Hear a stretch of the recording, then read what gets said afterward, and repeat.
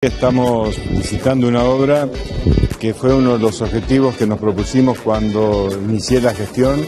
en diciembre de 2015, la necesidad de poder cerrar todo el norte entrerriano en materia energética, es la zona más atrasada que tiene la provincia en materia de energía.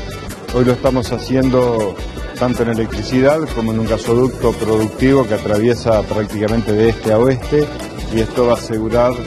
la trazabilidad en materia de energía gasífera y eléctrica para los próximos 50 años en toda esa zona. Esta es una obra que venía prometiéndose desde hace más de 30 años.